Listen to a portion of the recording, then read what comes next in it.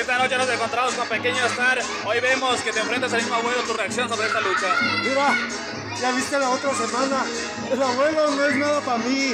Que me pongan otros mejores. Porque el abuelo, ya viste la otra semana lo que le pasó. Y veo ahorita lo que le pasó. Pobre abuelito. No me dura para nada. Oye, el 1 de mayo veremos que junto con Black Golden se van a enfrentar a Lunatic Street y a un Star que te aventaba pues eh, con las llamas de fuego, ¿no?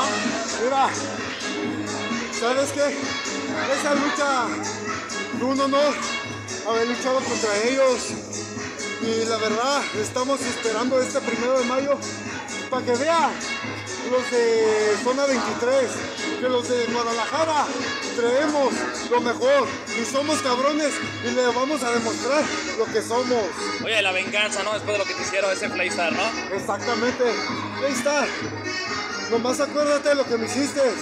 Esta vez, de cabelleras, te va a ir peor. Más que a ti. Sería un triunfo para tu carrera, ¿no? Ganar las cabelleras como Playstar o también el Lunatic, ¿no? Mira, sería un triunfo y eso tengo por seguro que voy a tener tu mendiga mugrosa cabellera estar porque aquí los que manda son los de Banatos, Guadalajara, no la zona 23, cabrón.